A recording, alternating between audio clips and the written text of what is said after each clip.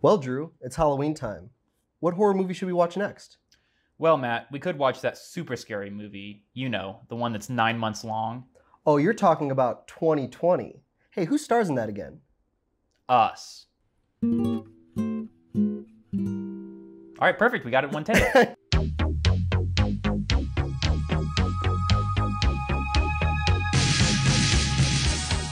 All right, and welcome back to another episode. As always, I'm Matt, I'm Drew. and this is Reboot Review. This is where we look at uh, some horror films during Halloween times that they decided to bring back. And today, we are looking at Evil Dead 2013. And it's also a little different because we're actually we're filming this one. Yeah. So, you know, you get to you get to see the you get to see the face with the voice. I bet everyone's really depressed.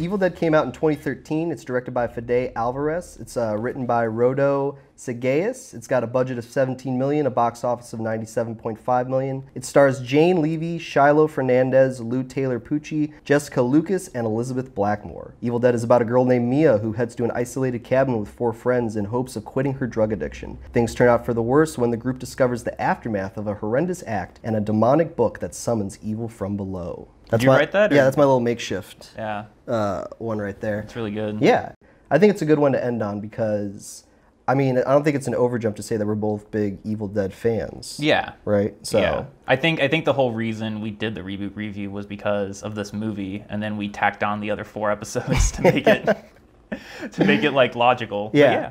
But this is also like a different reboot too because this isn't a situation where the, you know the original movie is successful on its own and then because of that they try to kind of cash in on that by putting a new twist or spin on it. Like you know I think of Child's Play where they're not really taking anything from the original besides just a killer doll and then they're applying something new to it. Whereas in this one the original's not amazing and a lot of people know this about the original there was a lot of production problems and uh, you know you can see certain wires and stuff in shots from like little effects that they were trying to do. So, but but but it's also one of those films where with Evil Dead 2 and then Army of Darkness and then even with the show Ash vs Evil Dead, they've really kind of toned in more on what they're going for and they've kind of mastered it. So, even with this remake, they're taking the name and that's really what's going to get people into the seats, but they can really pretty much do whatever they want with this reboot. Well, I think what they wanted to do was they wanted to make something that was more true to what Sam Raimi's original vision is. You say that they like found their, you know, what they were going for in uh, the sequels and in the TV show. Yeah. But I think that wasn't really what they were going for. I think that's what it kind of ended up being. So what they they were- were going for, I think, was more what this movie was. Yeah, like maybe they were going for a way more kind of serious, grounded approach with the first one, and then they decided to make it more comical. Yeah, because as they go I, I feel along. like it will like.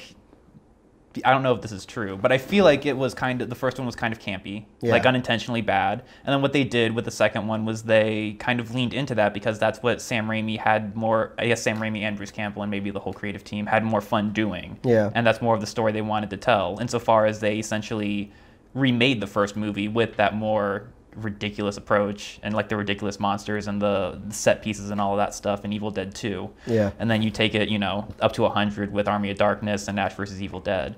But I think there was that original like kernel of an idea of like this is all serious and this is all uh, kind of the same way that uh, The Exorcist was, Yeah. where they're saying and doing ridiculous things that could be construed as like funny, but uh, actually taking it seriously and playing it more straight, like the the Exorcist did uh, with this uh, reboot. And we'll kind of get into some stuff that they borrow, that the reboot borrows from the original. Yeah. Uh, but just kind of start it off. Um, Evil Dead 2013, is this a reboot or is this a sequel? And I'll ask you first before I kind of give some information onto that. And this is something that other like channels and people have talked about before, but just for our kind of take on it, is this a sequel or is this a reboot? I think it's a reboot. Okay, because the What's the argument for a sequel? Yeah, so the directors actually said, uh, Fede Alvarez, that this actually takes place 30 years after the original, Oh, okay. which is interesting because there's still similar beats, so that you could almost make that argument that it's like history repeating itself. Yeah. But he actually thinks that this is in the same world. And then there was actually an interview with Bruce Campbell when they were promoting season three of Ash vs. Evil Dead, where uh, I think he threw this out there to try to get more people to watch because they were trying to get that fourth season on Starz. But he said something along the lines of like, and you know, maybe if you support this season, you know, we'll do a little crossover with the the the remake that they did in 2013. Maybe we bring that character into the world with Ash and something like that. Because he does that cameo at the end of the reboot, the 2013 reboot, where he the, says the, groovy. the timeline's always been like crazy with Evil Dead because yeah, like what is what is Evil Dead 2? Is that a remake or is that a sequel? Yeah. I guess personally, I would like it if this movie was still set in the world, if it was canon with the Evil Dead world, because I would like to see a, a crossover with Mia and Ash. I don't know if that's going to happen anymore though. I know, but it would have been, it would have been interesting. using the using the actual universe rules that Sam Raimi created Yeah. and going based on what anything the creative team said, I think is too because the rules for the Evil Dead universe alone are too crazy. Yeah. Uh, going based off of just general rules and what this feels like, I think it feels a lot more like a reboot.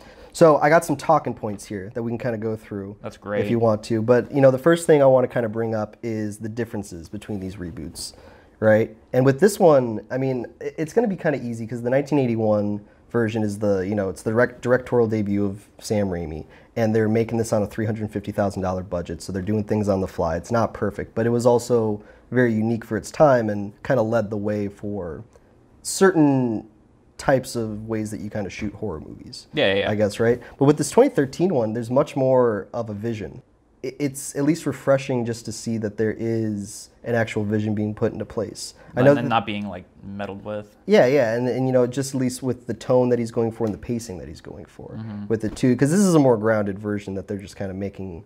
You know, they're, they're keeping the, the, the bloody gore and the ridiculousness of that, mm-hmm. but they're making a lot more like, what if it was real? Yeah. Yeah, but I think that that really helps because it, it provides more depth, not just visually, but also within the story. Because in the 1981 Evil Dead, the reason that they're going to the cabin, and we can kind of now start getting into some differences between the original and the reboot, but Yeah. just from a plot perspective, you know, they're going to the cabin because the one guy, he basically is like, yeah, I just got this house for cheap, so we're just gonna go up there on vacation and party for the weekend. That's like a bed and breakfast. It's like yeah, it's like a it's it's like a vacation gone wrong. Um, whereas in this one, it appears to be like a family cabin that they've gone to throughout the years. But when we open the well, no, they haven't been there for at least like 10 years, I think. Yeah, but there's like pictures inside the cabin. Of They've them been there in the like, past, kids. but like the distant past, yeah. But there's also been like squatters or like the Hills Have Eyes type people that have been using their cellar. You can just call them locals. I guess, but they're all very like he, he really puts a lot of focus on like some really weird looking folk in the opening of it because you got the dead cats and the bats and stuff, you mm-hmm. know, hanging from the ceiling, and they got the Evil Dead girl tied up to the pole. And this isn't their cabin, but I mean, I believe. I mean, as an audience, like I, I think at the top of it when I'm watching, I'm like, oh, this is their cabin. But then later you're gonna find out, like, no, this, they were just squatters. Yeah. They're they're, kind they're, of they're stopping not by. squat. I mean, like I said, when we were watching this, Yeah. you got to find a place to like conduct these spells and these rituals. You can't just do it in like you know grandma's bedroom. You got to like find a place where you can like burn it down essentially because they're gonna purify her with fire. Well, I just don't think they needed to add that whole thing where this is their childhood cabin also. They probably could have kept the same thing from 1981 where it's like, yeah, I just found a cheap cabin, but the reasons why they're going there, they, they, they could have kept still. Well, it makes more sense because you know you're not just gonna rent a cheap cabin and then like we're gonna do a what is it? Not a cleanse, but a, Or just a cold turkey. cold turkey yeah. kinda We're gonna do cold run. turkey in this like rundown cabin we just found. You would do like it's our family cabin. It would be you know, I don't know what like uh, constructive or like supportive because it's like you know old memories. It's like from your past. Then when they go in that cellar for the first time in 2013, they almost act as if they've never seen this cellar before. but it's like, you grew up with this cabin. Like, I would expect them to go down there and be like, what happened to the cellar? I guess kind of yeah. The You know cellar what I would be mean? the thing that like changed the most, and I don't know. They probably just weren't down there very much as kids. Yeah. Well, speaking of similarities and differences, let's let's keep diving into this uh, of the differences between the two, and let's talk about the demons first. Let's talk about the Deadites. The only thing that's the difference between because I think that what they borrowed from the original in regards to just gore, uh, in regards to like kind of over the top, you know, effects, I guess as you want to call it. Um, but the one thing that they kind of kept, but they didn't, was the silliness of it, was the little campiness of it. Well, that's the thing is like, yeah, you don't you don't add campiness. Campiness is a side effect of someone did something wrong. Yeah. Um, in the 1981 version, every time somebody gets possessed by the demon or by the deadite, they, they're very comical. Like they're all they're they're taunting. You know, they're, saying over the top. stuff. I don't. Yeah. I wouldn't call them comical, but yeah, Well, it's over it's, the it's top. all right, just amusing. yeah, maybe. yeah. but uh, in the 2013 version, Mia's the only one that really gets to have fun as a Deadite. That's true. She's yeah. the only one that really curses, that taunts, that like you know. Whereas in every other person that gets infected becomes more kind of like a zombie. You know, they they're kind of just like you know More mo- serious, Yeah, yeah. mo- moving forward. Whereas in I think it was more fun for the actors in 1981, where you got to see a different version of, I of a sillier Deadite. I don't think it was fun for those actors in 1981. No, it wasn't. But just like on a performance level, like you know, even uh, in the 2013 version, when she gets the puke from Mia Yeah. on her, and then she goes in the bathroom and cuts off her face, you probably could have kept that intensity, but then added a little like ha cha cha cha. No, she, she, she, she just whips around and then you like, you know, like yeah, like him onto her. what's the matter? You don't like my face? Yeah. you know, something like that. 'Cause I don't either. exactly. That was the one thing that was just interesting that they they they they kind of borrowed and kept stuff still, but they didn't take everything. So That's what I liked is that they made it more grounded. they made it more grounded, but I still think they could have kept each Deadite still kind of being a little sillier because, you know, even when she's shooting the nail gun. I think Mia's silly enough for all of them. all right, yeah, that's fair. Well, she kind of shines in this the most. She and, does, yeah. and let's actually keep talking about similarities and differences, and let's talk about how they kind of awaken this evil. So in 1981, the evil's already awoken. It's like it's so vague. The, It- the 1981 is so vague. It really is just a here's a here's an excuse to have a bunch of people die. Well, I, I- say it's already awoken because when the words are spoken, it initiates it. But it's got to be out there in the sphere. It's got to be out there in the world Yeah. Mm-hmm. at 1st So when they show up to the cabin, some things that tell me that the evil is already there is uh, when she's drawing the sister of Ash. Yeah. When she's drawing, it like takes over and it turns book, into a book. And then when they're sitting at the kitchen table, the the cellar just opens. Yeah. So it's the evil, like almost very similar to Cabin in the Woods, where it's trying to get them down there Mm-hmm. to play the recorder so that it can, you know, do its whole camera thing and, and come to the door. I think it's guiding them toward the book. Yeah, yeah. But, but then the cam- they end up getting the voice recorder. Yeah, and the evil like has motivation to get them to kind of release it. Whereas in 2013, they they successfully did it with that opening scene of burning that girl. So it's like everything's locked away. Mm-hmm. exactly. Then this English teacher's just gonna Well, open it up. They they and get, read they, it. they seal the evil away and then they just leave the book there. And it's like, can you at least have like buried it or something? Well, the only reason why I just I, I prefer the 1981 is because it's more circumstantial. It's more like this is something that already exists. Then these kind of teenagers are going to kind of come and they're going to deal with it, and it's like anyone could have come across this cabin, Sure. and it's already released. Whereas in this one, it's very like reactionary. It's very like he's gonna he's gonna set it off first, and then they're going to react to it. But it's that I think it's more meticulous. it's that rule of like stupid characters. It's kind of like Child's Play 2019, where you have dumb characters that are doing things to get the plot going, Yeah. versus just establish that it's already there, and then you can like have your fun after the fact. I, I'm I'm okay with it in this one because it's only the one dumb character. It's not like they're all dumb. It's Yeah. the, it's the boring English teacher guy, and like he's you know he's not a likable character, so it it doesn't make logical sense that he's going to be stupid and set off the evil. But it at least is like it tracks in his character Mm-hmm. that he would be the one that kind of meddles with stuff that he doesn't understand and ends up unleashing all of this because he's not a good in like the sense of bad and good Yeah. character. Well, I think they could have just played with that a little bit because the whole movie is about well, not the whole movie, but at least with Mia and her central theme about addiction and overcoming addiction, they probably could have given that to other characters. Like, what are their vices? What are the things that they have a problem with? Maybe this English teacher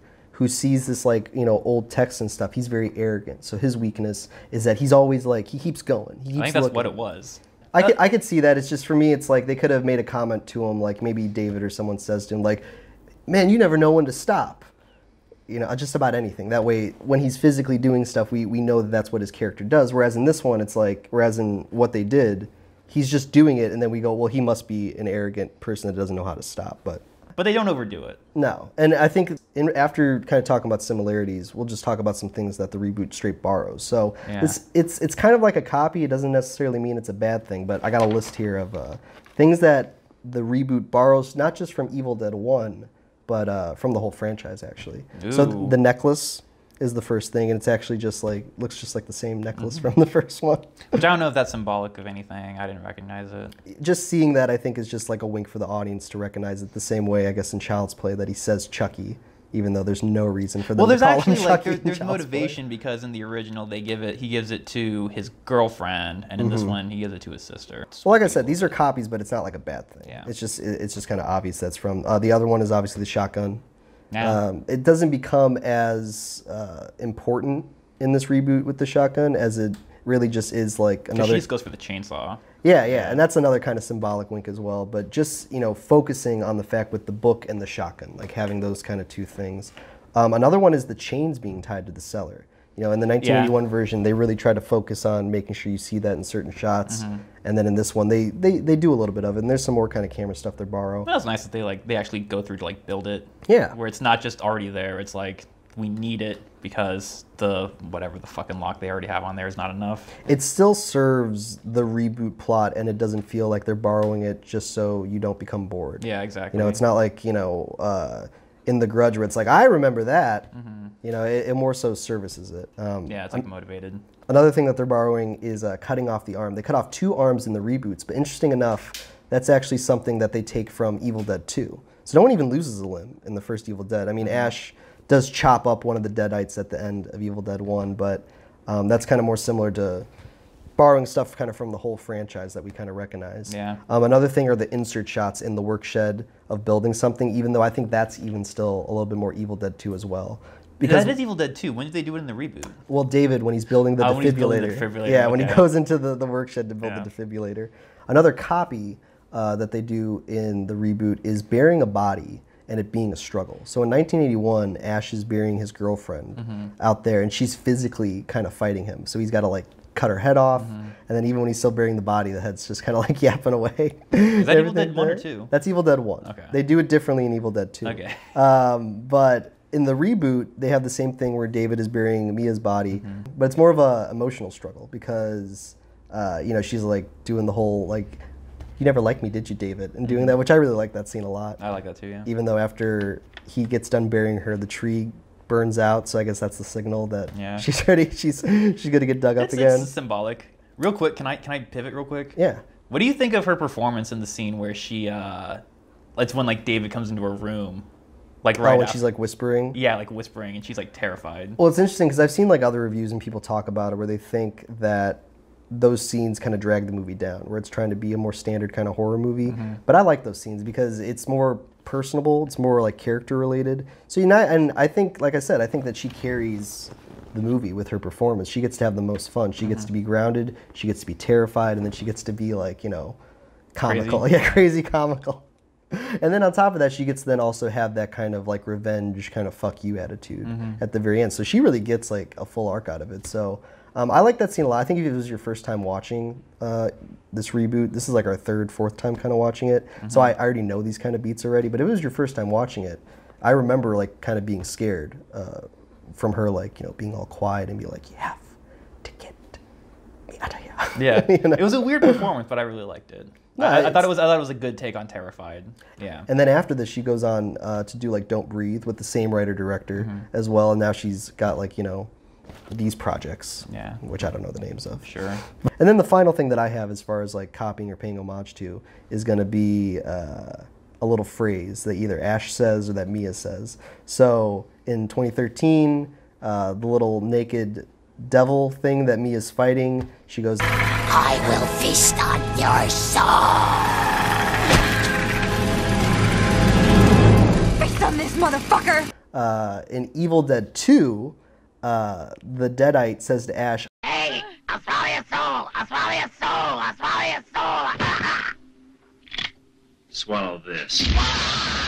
Nice. So it's another little another little updated homage kind of wink that they do. Um, but you know, if we don't have anything else we really want to say about the movie, I feel like we've talked a lot about it and we've kind of talked about similarities and differences. We can kind of get into the ranking of this. So uh, as always on the show, uh, we ask three questions that lead to a final question vote.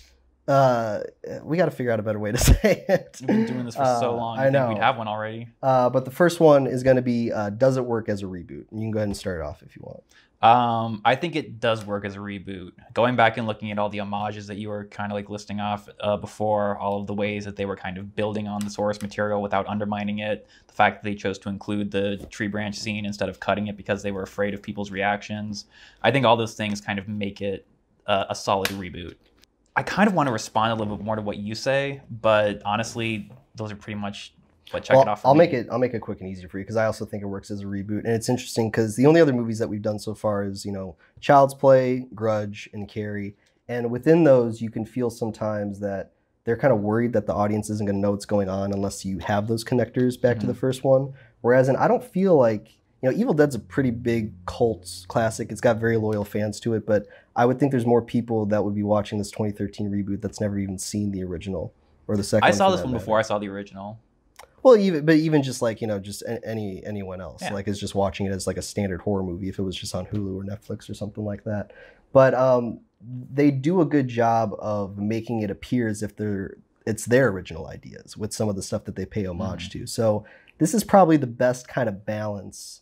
Uh, a little bit more similar to Carrie because that had a good balance of you know paying homage to the original, taking actual lines of dialogue from the original, but also keeping whatever new voice that they were trying to put on. and it. like actually building on it instead of like replacing it. Yeah, whereas in this one, I think does an even stronger job of that, where Mm-hmm. it mixes it in a lot better.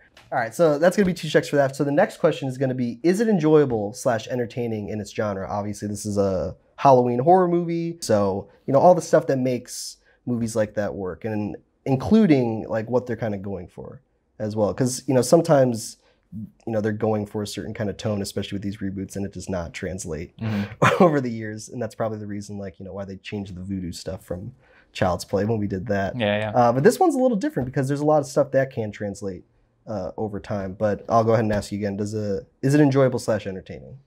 yeah, I think this is like uh, if you just want to go based off the criteria of like does this work as a horror movie just on its own Mhm. or is it enjoyable as a horror movie then yeah. I think uh all the kills are great, the Mia monster is great, the abomination's great, the deadites and like what happens to the friends when they get infected.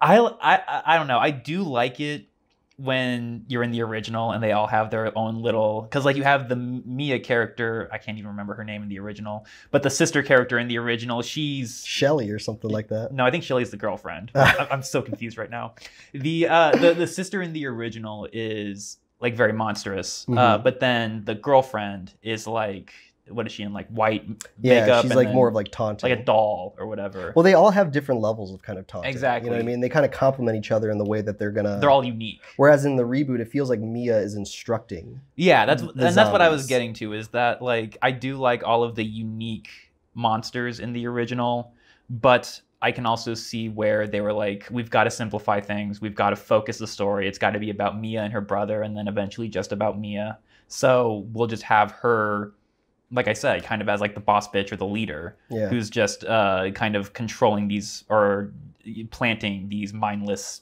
I mean, they're just zombies almost. Yeah. They're really good and they're really intimidating, but at the end of the day, they are just zombies. Well, you also got to keep in mind, like we didn't have Ash versus Evil Dead yet, so we, we haven't really seen them. Army of Darkness, they're called the Deadites. No, no, but I'm saying just in regards to like mixing those tones of like being really like gory, Mhm. but also being really comical, but and also having drama at the end. Like I don't think show, they were trying to be comical in this. No, no, no, they're not. But but just in regards to having those zombies kind of be zombies, they're like, okay, well, we'll make them more kind of stationary kind of monsters, but then we'll punch up the the groundedness of how gory we're kind of being. And yeah, like with they, cutting off the arm yeah. and like the nail gun. they that kind of sacrifice the uniqueness of the Deadites, but they build with so much more, or they replace it with so much more. They have the better gore effects, they have the more in in tone gore effects, and then they have, I think, the Mia Deadite or character or monster or whatever is a lot better. I also think it's enjoyable slash entertaining. The only thing I wonder is how enjoyable it would still be if it didn't have some of that comedy in it. Like so if For all, the reboot, for the reboot Okay. because when she's cutting off her arm, it's Uh-huh. great cutting back to Mia where she's like encouraging her to do Yeah, it and she's like cheering her on. But I wonder how that would play if she wasn't being comical, if she was just like being like do it. You know, like kind of being more dark about it and cutting off her arm. no, that's because that's not. I know. You, you, there's a difference between being campy and Yeah. being like a true Deadite, and that line is so thin. But it's that balance of like, you know, kind of funny moments with like super intense kind of horror Mhm. moments that that's always been the Evil Dead thing. That that's the thing that they borrow the most in this reboot. Uh, but then they also add a lot of kind of other stuff that it's not relying on, on that. But you can still tell it's like if you didn't have Mia being comical in those moments, I don't know if that kind of act two would, would be as No, enjoyable yeah. as it is. It wouldn't. So it does. It is still enjoyable slash entertaining just for what it is, but uh, you can still feel the them being reliant on that You- kind of original. You talk about like Mia be, being comical in the reboot. Like I, I Well, that's I, like- I, that's- would say exaggerated because Yeah. like it's com- it, it could come across as comical, but like you're still staying in the serious tone. Yeah. So it, it's not like we're serious, it's deadly, and then she's being funny. It's we're serious, it's deadly, and she's being exaggerated, which is exactly how it is in like The Exorcist. it's not comical in a bad way. Yeah, exactly. it's, It it's more like It doesn't. It doesn't like. It doesn't sh- jump genres. Yeah. It, it still stays within the genre. it's like when you're kind of laughing just to release something when you're yeah. watching something. It's just funny just watching her like do it, do it, do it, that kind of thing. Whereas in like 19... bitch. Yeah, exactly. exactly. But if you never had the context of watching those first Evil Deads, I feel like that would come out of nowhere. No. You know what I mean? Like I Not in a bad way, I but guess- it feels like it would come out of nowhere. It would still be fresh. But you'd be like, if you're watching this, you'd be like, oh wow, like this is I've never seen this before. Yeah, you'd see. It, Yeah. it would seem different. Um, so that's going to be two checks again. So then our last question is going to be, does it stand on its own? And then this is going to be interesting because it, it's very similar to Carrie, where it's borrowing a lot of the stuff from the original. But if you could pretend that this movie, that the original didn't exist and we only had the reboot, would it still stand on its own? And like I said, it's kind of hard because the things that they're borrowing from the 1981 version, or at least from the whole uh, three Evil Dead movies, Yeah, the franchise. is not like a plot or character motivation or an arc or anything. It's really just like The the, tone. the yeah, tone of the villain. Deadites. Not It's even the tone, because the tone in the original is campy to comedy. In this, it's serious horror. Well, just the like- only thing they're borrowing is the bad guy, Yeah, well, the Evil Dead. the way the, the way that the dead goes about kind of taking its victims in a very like turn up to a thousand kind Yeah. of way, but also being like entertaining. I don't even think that's even the same evil because in the reboot they go through the whole thing about it being like a male demon, and in the original is just like ambiguous evil. And I, I think in the rest of the franchise, in Evil Dead Two and like Army of Darkness and Ash vs Evil Dead, it's all just more ambiguous evil. yeah, well, it's already released in the original, like we were saying, like it's already out there. Whereas in this one, it's more kind of uh, ceremonial, Yeah, right? It's like you, you got to do this, you got to cut off the face, you got to do this, blah blah. Blah. You gotta blah, blah. accidentally get blood on the paper. You gotta- What did that even actually trigger anything? Or did he, or Uh, did, was yeah. it just like yeah, it started the book because like he opens it up, he pricks his finger, he's like, ah, it gets right on the book. Mhm. And there was something else we just watched recently too, where somebody accidentally I always go back to that Buffy episode. puts blood. Which one again? It's the Halloween one where Oz bleeds on the. Oh yeah, he thing. accidentally bleeds on like the frat house. they, are doing like they're doing like a little like sigil for like their band for for the house yeah. party. Doesn't he break it and on it's like, like, a real. They're using like a real book, and then he accidentally like bleeds on it. Yeah, but just to kind of like put some checks and X's on this, I, I will. I'll probably say that it does stand on its own with the check, but I'll put a I'll put a faded check because Okay. I don't know what this movie would be if you didn't have that Sam Raimi influence, just in regards to how like the evil. What would any horror movie about. nowadays be though, without the Sam Raimi influence? What if Sam Raimi never like if Sam Raimi never made Evil Dead? No horror movie. Well, even if like you look at like Carrie, for example, like like you said, they could just take stuff from the book and they Yeah. could have made whatever kind of adaptation they wanted of that. Where this, they probably could have told the same story, but I wonder if I just think about Mia like saying all that stuff in the basement and like you know don't do it, don't I do feel it. like they take a lot of stuff from that from The Exorcist too. But I just think that's like the one thing from the original that that's the thing that people liked, but then they didn't have the kind of the production or like the plot around it. But it, Mhm. that thing they liked so much that it carried, you know, three movies almost. So in this one, that's the thing that they they kind of keep. They don't use as much because they make up for the other, you know, the other parts. flaws, of, yeah, the other camp- flaws They replace the have. campiness. Yeah. Yeah. Uh, so I, I do think it stands on its own, but I'll still put like a little asterisk next to it just because a lot of it stands on its own, but I still think that they're still relying on just that tone of the Deadites of what they're doing. I think that tone and like the I don't know what you want to call it, the Mia villain or the original evil, whatever is possessing Mia. I don't think you. I think there was enough without Sam Raimi's original influence that they could have made it work. And on top of that, I think it has. It's it's like the cherry on top, where it's like you don't need it for the movie to be successful. It's just nice to have. Yeah. Like those those scenes with Mia almost like reacting to the horror around her while she's possessed are great, but they don't make or break the movie. So it's, it's not like it's not like this whole support or like the crutch that the whole thing's built off of. So even if you remove those and you still have this movie, I, I think it would still work. What's the Yeah. original question? Uh, does it stand on Does it its stand on own? its own? Yeah, I think even if you re- even if you remove that like uh, very strict adherence to the Sam Raimi character, Mhm. insofar as the antagonist goes, um, you would still have a very successful horror movie. Some of my favorite parts, like like I said, it's like the cherry on top, but I still have like a smattering of other favorite parts that aren't that. Yeah. Because I love the the end where she fucking chainsaws the thing in half. Yeah. That, that's not that, that that could be like in any horror movie. Not to say that it's generic, but that isn't something that's like dictated by Sam Raimi. Um, well, it's also one of the, it's more like a traditional build up. Because Yeah. like we said, we have the ceremonial pieces. Yeah, and it's it- all really going to build up to once she's kind of, you know, clean from this infection. That's when the big demons yeah, will it's come just out. building and the face off. Yeah. yeah. Um, the the twist of the either, it's either the demons leaving the bodies and letting the real souls come back, or them pretending to be the real souls in order Yeah. to like get out of the trouble or whatever. And when the girlfriend's like, "Why does my face hurt?" and it's got like twelve nails in it, like. Uh, like I like that, and that's not really Yeah. like a strict Sam Raimi thing that you need to, you know, borrow from. That is, I think that's, I, I think the way that Fede uses it is unique enough and stands on its own enough. And then everything else, the way the movie's shot, um, the way uh, the characters are portrayed, the way that they're acted, the way they're directed, Yeah. um, all Besides fuckface. besides fuckface, yeah, all of them are just like. I, I think there's enough of Fede on his own in there Yeah. that really helps elevate this movie and helps, you know, establish it as a good standalone movie. You don't need to be familiar with any of the Evil Dead Yeah. franchise to enjoy this movie. He's probably the one of the bigger directors that we've done on this, or that even in the reboot genre, because you know he goes on to do Don't, Don't Breathe after this, and I know, actually but this not before this. no, but just in general, like I mean, how many other directors have we done either on this podcast with the sequels or in the reboots where they've had these like actually good projects after the fact too? Um, Because outside of that, I'm pretty sure uh, with Carrie, uh, that director, she's gone on to do like really good episodes of television. Yeah, but like, they reference her in like. The Boys. yeah, and stuff like that too. But he's kind of done like you know another horror movie Other after another horror movie, and he actually he actually brought back uh, Jane Levy for Don't Breathe too. yeah. So you know it's a nice little collaboration. They work together. Um, but I mean, yeah, you know, it, it's it's it sounds like we kind of agree a lot on a lot of this stuff. You know, there's just like little differences here and there between the two, but it's it's We both agree it works. It's just how much it works. yeah, it's it's a really nice addition to the Evil Dead world.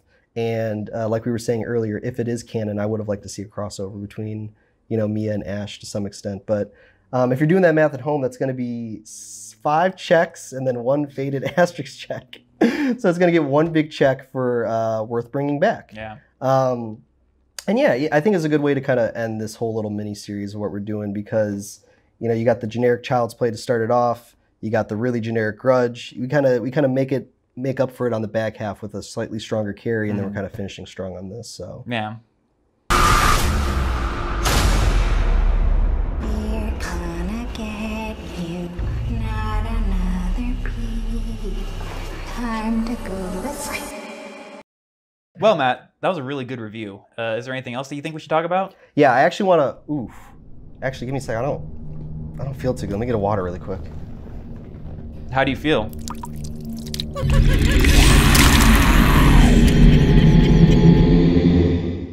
So how are you feeling now? Honestly, not bad. Uh, I'm kind of hungry though. You want to get a pizza?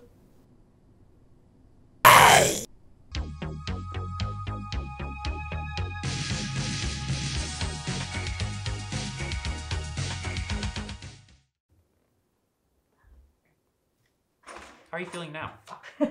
Sorry.